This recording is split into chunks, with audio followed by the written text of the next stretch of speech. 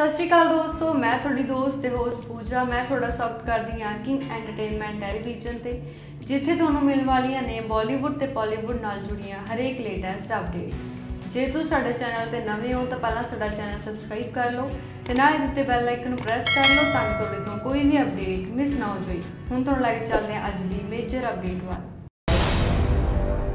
ਇਹ ਅਪਡੇਟ ਸਾਨੂੰ ਦਿੱਤੀ ਗਈ ਪੰਜਾਬੀ ਸਿੰਗਰ ਪਰਮ ਮਾਂਗਟ ਵੱਲੋਂ ਜਿਨ੍ਹਾਂ ਨੇ ਆਪਣਾ ਸੌਂਗ ਅਨਾਉਂਸ ਕੀਤਾ ਹੈ, ਜਿਸ ਦਾ ਟਾਈਟਲ ਹੈ ਇਨੋਸੈਂਟ ਫੇਸ ਜੇ ਪਗਰੇਡਰਸ ਦੀ ਗੱਲ ਕਰੀਏ ਤਾਂ ਇਹ Song ਨੂੰ ਲਿਖਿਆ ਤੇ ਗਾਇਆ ਗਿਆ ਪਰਮ ਮਾਂਗਟ ਵੱਲੋਂ। ਮਿਊਜ਼ਿਕ ਦਿੱਤਾ ਗਿਆ ਬੀਟ ਬॉय ਦੀਪ ਵੱਲੋਂ। ਵੀਡੀਓ ਤਿਆਰ ਕੀਤੀ ਗਈ ਹੈ ਗੱਗੀ ਸੰਧੂ ਵੱਲੋਂ। ਤੁਹਾਨੂੰ ਦੱਸ ਦੇ ਕਿ ਇਹ ਸੌਂਗ 23 ਜੁਲਾਈ ਨੂੰ ਮੈਪਲ 뮤직 ਗੈਂਗ ਦੇ ਲੇਬਲ ਅੰਦਰ 630 ਸੁਣਨ ਨੂੰ ਮਿਲ ਜਾਵੇਗਾ। ਸੋ ਕਿਵੇਂ ਲੱਗੀ ਤੁਹਾਨੂੰ ਸਾਡੀ ਇਸ ਦੀ ਅਪਡੇਟ ਸਾਨੂੰ ਲਾਈਕ ਕਮੈਂਟ ਐਂਡ ਸ਼ੇਅਰ ਕਰਕੇ ਜਰੂਰ ਦੱਸੋ।